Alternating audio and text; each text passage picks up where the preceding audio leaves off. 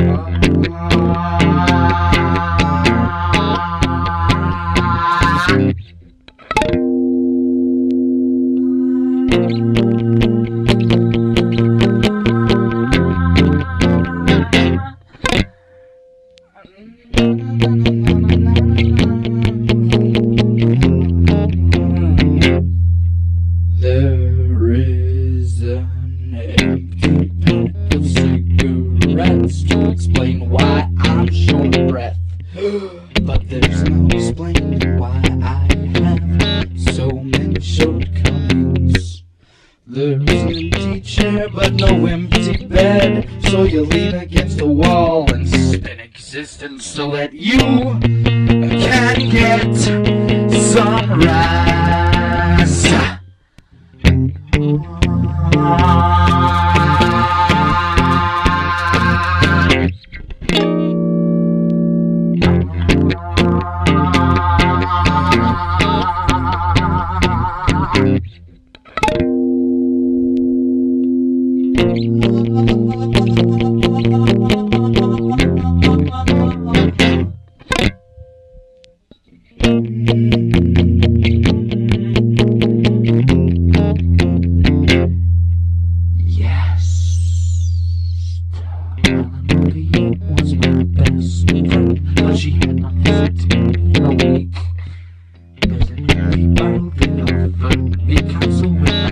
Just could not sleep.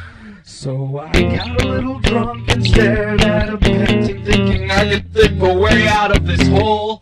And I swear to God, one day I'm gonna think myself out of this whole goddamn town. Maybe one day I'll leave Florida. Maybe I'll go to Europe. Maybe I'll end up on Broadway. Maybe I'll just sit here and drink and stare at my painting and wish I could get some